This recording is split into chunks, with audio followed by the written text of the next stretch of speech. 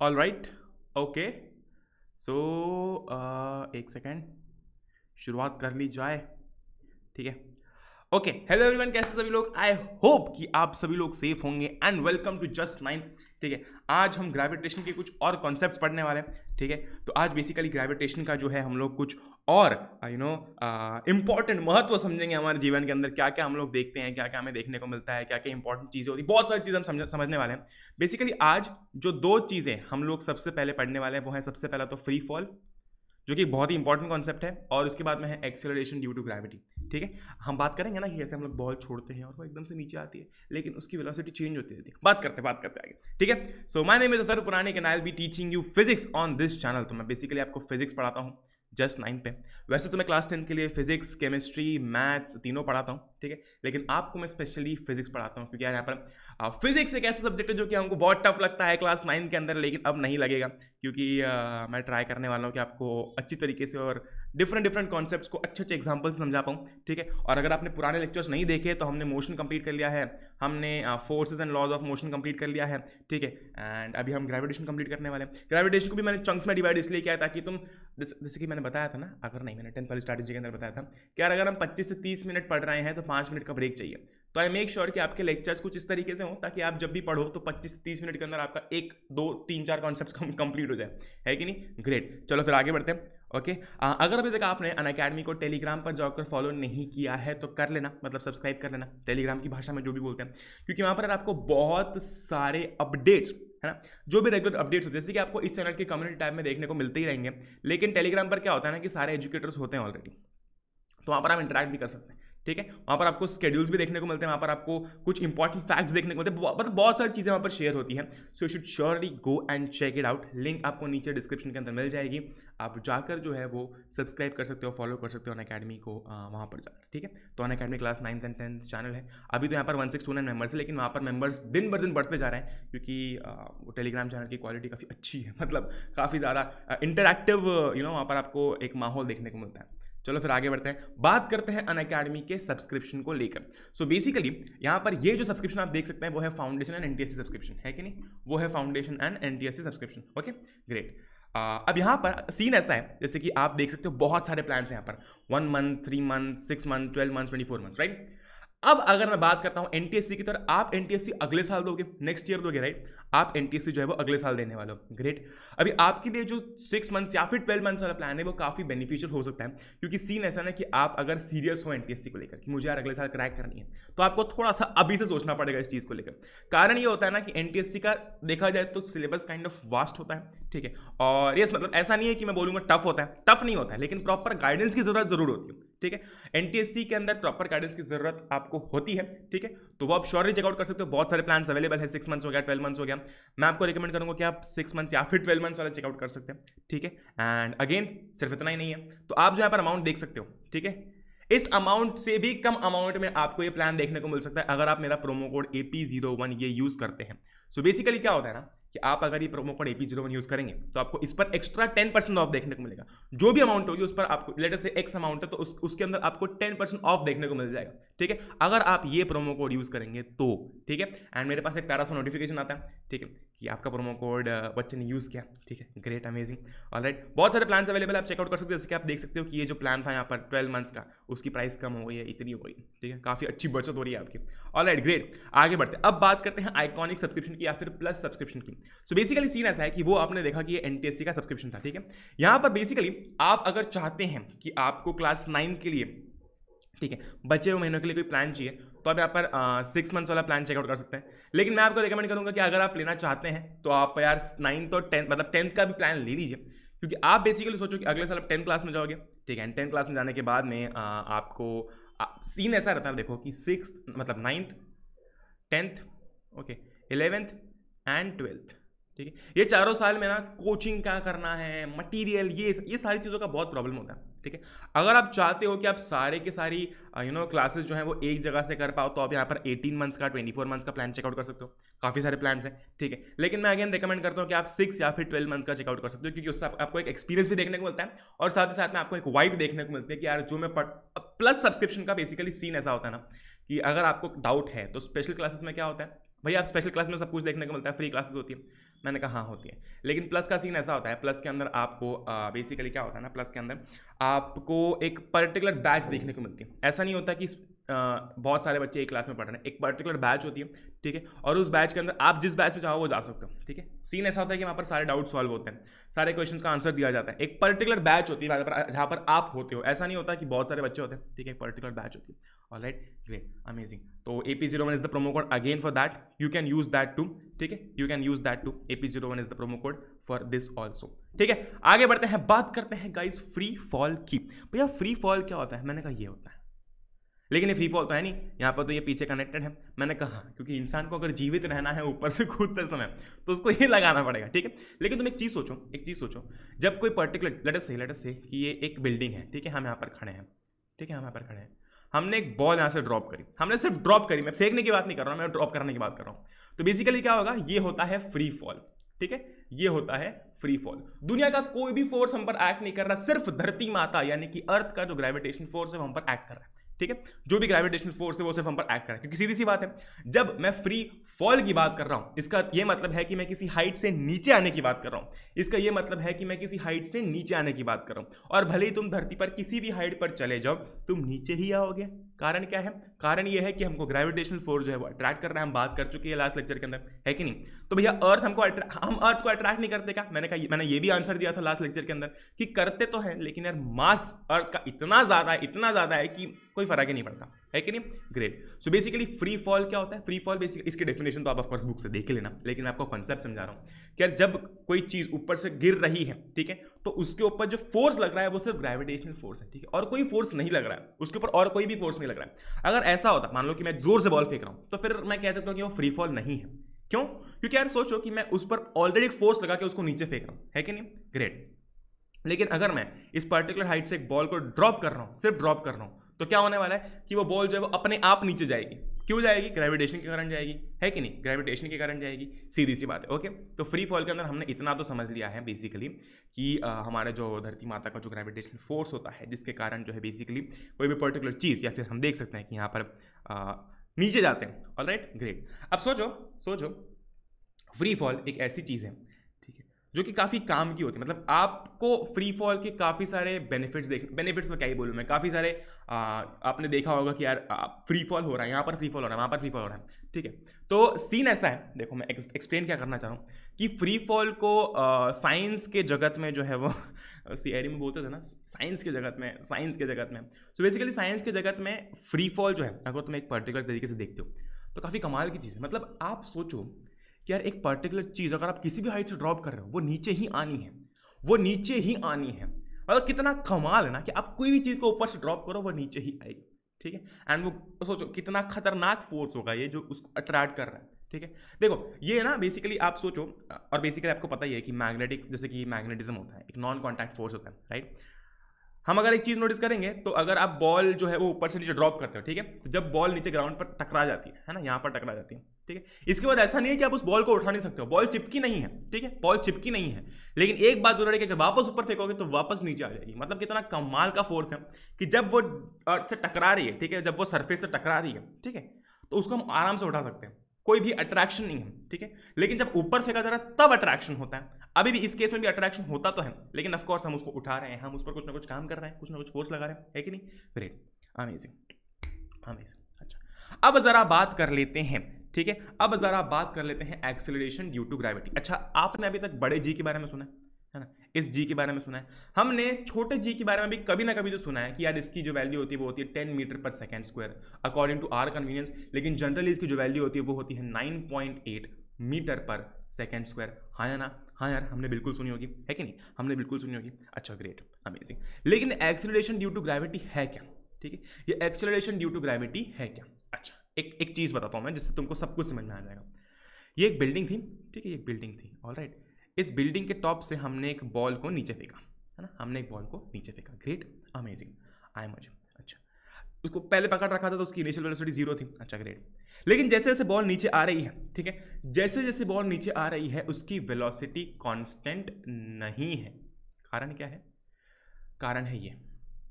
क्योंकि उस पर ग्रेविटी का फोर्स लग रहा है। उस पर बेसिकली क्या हो रहा है ना, कि ग्रेविटी के कारण उसका एक्सेलरेशन बढ़ रहा है। उसकी वेलोसिटी बढ़ रही है सॉरी ठीक है? अब वेलोसिटी बढ़ रही है वेलोसिटी कांस्टेंट नहीं है। इसका क्या मतलब है? इसका मतलब है कुछ ना कुछ एक्सेलरेशन है। अच्छा अब भाई ये तो फ्री फॉल में गिर गिर रही है। तो ग्रेविटी के अलावा तो और कोई फोर्स नहीं लग सकता। तो ये किसके कारण हो रहा है? ये ग्रेविटी के कारण हो रहा है, ठीक है? ये ग्रेविटी के कारण हो रहा है। सो बेसिकली क्या होता है ना, अगर मैं और अच्छी तरीके से समझाऊं तो जब ये फ्री फॉल हो रहा होता है, ये जो फ्री फॉल हो रहा है, ठीक है? तो इस पॉइंट पर वेलोसिटी कुछ अलग है लेटर से वी ए है, इस पॉइंट पर वेलोसिटी कुछ अलग है वी बी है। कारण क्या है? कारण है एक्सेलरेशन ड्यू टू ग्रेविटी ठीक है? ये जी और ये जी की वैल्यू हमने देखी कि या तो हम कन्वीनियंस के अकॉर्डिंग या तो ten metre per second square लेते हैं, जो भी क्वेश्चन के अंदर दिया हो, या फिर nine point eight meter per second square लेते हैं, ठीक है? अब ये सीन कैसा है, पहले समझ लेते हैं, ठीक है? ग्रेट ओके अमेजिंग जैसे कि ये है ये है अर्थ हमारी, है ना? ये है अर्थ ओके ग्रेट यहाँ पर खड़ा है हमारा Bunty Bunty OP? Alright Bunty OP. अच्छा। बंटी का मा, मास लेटर से है कि एम बी है ना? बंटी है तो एम बी ओके ग्रेट यहाँ से आता है। अमेजिंग अच्छा। इसका मतलब ये है कि जो इस पर फोर्स लगने वाला है हमने अभी थोड़ी थोड़े टाइम पहले बात की थी लास्ट लेक्चर के अंदर कि जो फोर्स होता है जो एक्ट कर रहा होता है वो कितना होता है? जी एम ठीक है। एम बाय आर स्क्वायर है कि नहीं? आर स्क्वायर भाई दो बॉडी का मास है ना? और डिवाइडेड बाय द रेडियस मतलब divided by the distance sorry ठीक है? ग्रेट और वो क्या होता है? वो बेसिकली क्या होता है? वो सेंटर टू सेंटर होता है। है कि नहीं? वो सेंटर टू सेंटर होता है। ग्रेट अमेजिंग तो एक काम करते हैं, ये बेसिकली इसको मैं यहाँ से वापस लिख देता हूँ। ठीक है? ये कुछ ऐसा हो जाएगा। M M B upon square एक और एग्ज़ाम्पल लेते हैं। है ना? एक, ये बहुत ही बहुत ही कॉमन सा एग्जांपल है। आपको हर जगह देखने को मिलेगा। सेम एग्ज़ाम्पल यूज़ होते हुए। एक यहाँ पर है। एक यहाँ पर। है ये है बंटी का भाई। This is Bunty's brother okay और गिर नहीं जाएगा ये, गिरेगा नहीं। तो बोले, भैया, गिर जाएगा ये तो। नहीं, गिरेगा नहीं। है। Okay all right and later से कि ये बंटी का भाई है तो लेटर से एम एम के ठीक है? ठीक है एम के ओके ऑल राइट इस पर भी क्या फोर्स लग रहा है? F is equals to G M M क्या है? अर्थ का है भाई। ठीक है। एम के किसका? बंटी के भाई का। ठीक है। आर स्क्वायर ओके ग्रेट अच्छा एक चीज़ नोटिस करो कि इस वाले केस में भी और इस वाले केस में भी G M upon R square जो है वो कॉमन है। है कि नहीं? G M upon R square जो है वो कॉमन है। है कि नहीं? अरे, बिल्कुल है। अरे, बिल्कुल है भैया। हाँ ग्रेट मैंने कहा ग्रेट अच्छा हमने एक और चीज़ देखी थी कि एफ़ जो होता है है ना? एफ़ जो होता है वो एम ए के बराबर होता है। हाँ या ना? अरे, बिल्कुल हाँ। ठीक है? अरे, बिल्कुल हम अच्छा इस केस में, ठीक है, जब मैं किसी भी फ्री फॉल की बात करता हूँ, किसी भी केस की बात करता हूँ, तब हम बेसिकली ए की बात करते हैं, ठीक है? अब इस केस में ए क्या होता है? जब मैं फ्री फॉल की बात कर रहा हूँ, ठीक है? जब मैं बात कर रहा हूँ ग्रेविटी एक्ट में आ रही है तो हम ग्रेविटी की बात करेंगे, ठीक है? तो पर एफ़ की जगह पर क्या आ जाएगा? यहाँ पर, ए की जगह पर क्या आ जाएगा? जी आ जाएगा। क्यों?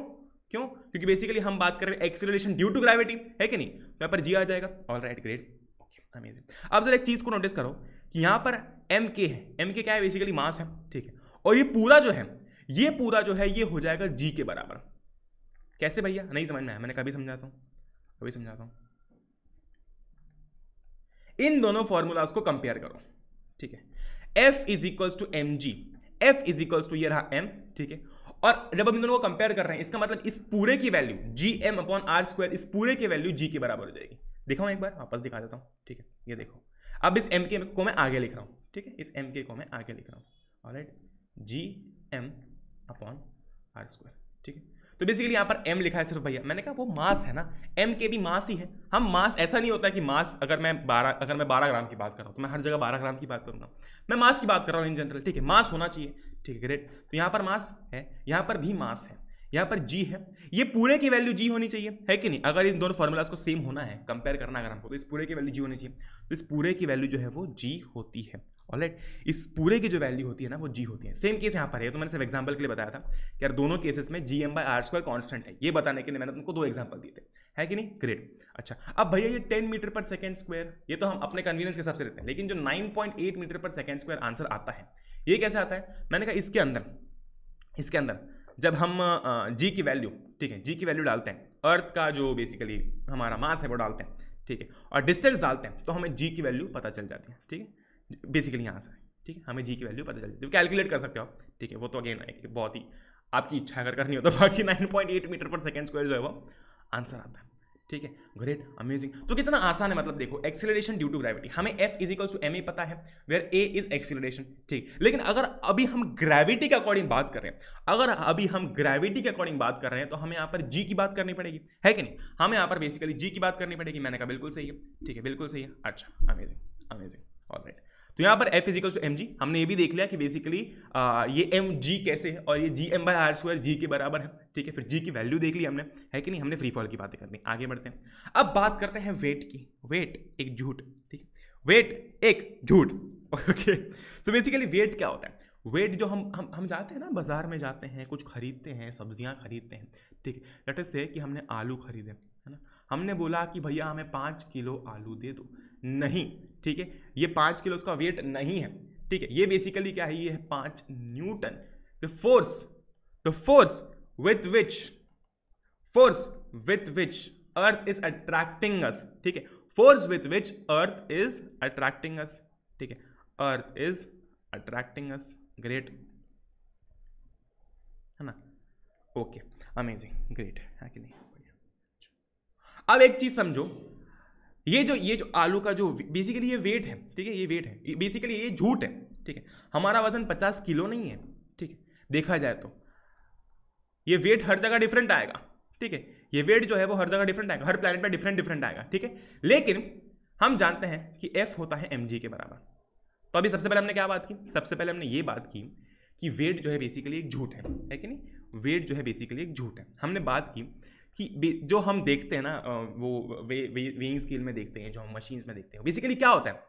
क्या होता है बेसिकली कि वो फोर्स होता है जिससे कि अर्थ हमको अट्रैक्ट कर रही है। लेकिन एक्चुअली ठीक है वो फोर्स क्या होता है? वो फोर्स होता है एमजी हमने थोड़ी देर पहले पढ़ा, है ना? थोड़ी देर पहले पढ़ा, क्योंकि हम पर ग्रेविटी लग रही है। हम पर ग्रेविटी लग रही है। तो अगर हम पर ग्रेविटी लग रही है, और अगर हमारा मास है लेटर से एम तो हम हम पर फोर्स कितना लगेगा? F is equal to M G ठीक है अच्छा। अब हमारा जो मास है, समझो एक बात को कि वेट चेंज हो सकता है।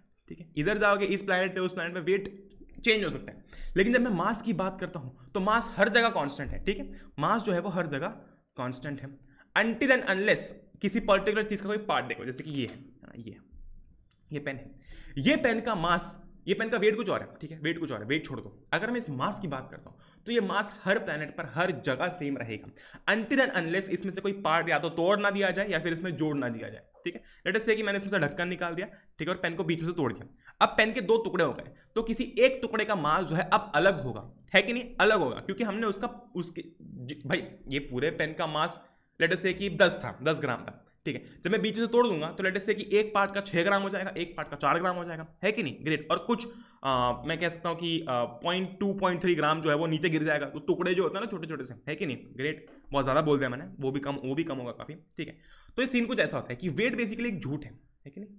ये एक्चुअली क्या है? It is actually the force with which earth is attracting us है कि नहीं? It is actually the force with which earth is attracting us all right great है ना? तो हमने क्या क्या पढ़ लिया? हमने पढ़ लिया एक्सेलरेशन ड्यू टू ग्रेविटी इसमें हमने बात कर ली कि हमने यार 9.8 मीटर पर सेकंड स्क्वायर लेते हैं, लेकिन अगर क्वेश्चन में कन्वीनियंटली करना है कुछ तो हम 10 मीटर पर सेकंड स्क्वायर ले लेते हैं। वो तो क्वेश्चन के अंदर दिया होता है कि आपको जी की वैल्यू क्या लेनी है, ओके? फ्री फॉल की बात करते हैं तो फ्री फॉल में क्या, सिर्फ़ धरती माता का फोर्स ग्रेविटी लग रही है हम पर, ठीक है? और बॉल धीरे धीरे नीचे गिर रही है सिमिलरली यहाँ पर हम देख सकते हैं इस एग्ज़ाम्पल में, ठीक है? ग्रेट अमेजिंग लेकिन ह्यूमंस ऐसा जैसा फ्री फॉल कर नहीं सकते जब तक पैराशूट पैराशूट या फिर कोई सेफ्टी ना हो, है कि नहीं? ग्रेट फिर हमने वेट की बात कर, हमने मास की बात कर ली कि मास हर जगह भाई साहब सेम रहेगा। ठीक है? मास हर जगह सेम रहेगा। वेट का नहीं कह सकते। है कि नहीं? ग्रेट अच्छा ऑल राइट तो हमने यहाँ पर तीन कॉन्सेप्ट आज पढ़े हैं। भैया, तीन ही कॉन्सेप्ट मैंने तुमको क्या बोला? कि चंक्स में पढ़ना हमेशा अच्छा होता है। ठीक है, जब तक हम चंक्स में नहीं पढ़ेंगे, तब तक मज़ा नहीं आएगा। है कि नहीं? अच्छा बात कर लेते हैं क्विज ज्वाइन करने की। तो बेसिकली मैं और बहुत सारे आपके जितने भी एजुकेटर्स हैं, ठीक है? शुभम मैम हो गई, प्रणय भैया हो गए, आपके यू नो अंकित सर हो गए, अर्शदीप मैम हो गई। है कि नहीं? जितने भी एजुकेटर्स हैं, सब लोग क्विजेस लेते हैं आपके लिए। ठीक है?